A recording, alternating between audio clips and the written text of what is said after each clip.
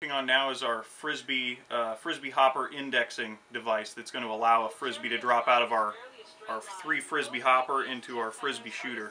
And the way that's going to work is I'm going to use two pieces of this Modulox channel, just single sections on each side, and they're going to rivet right here like that to our to our hopper frame, and then this uh, this PG motor is going to mount right here and drive a sprocket, one of these sprockets with a 25 chain, and there will be another sprocket up here to this uh, to this little four inch wheel on a shaft, two of these wheels on this shaft.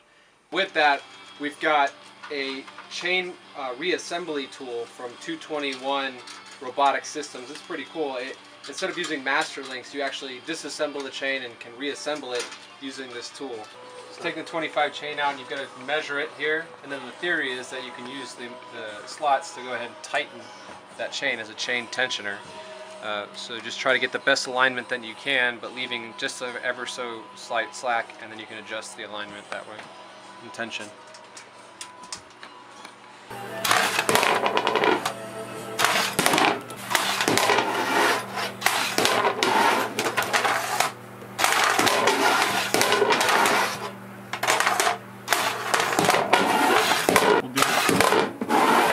Working on our uh, our final pro our final shooter for our robot in three days. Again, we're using the Modulox channel.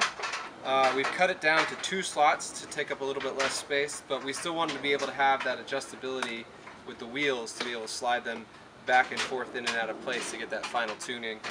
Um, we're still going to gear up the motors uh, to try to get the wheels spinning as fast as possible, um, but we may play with the gear ratios as we go along.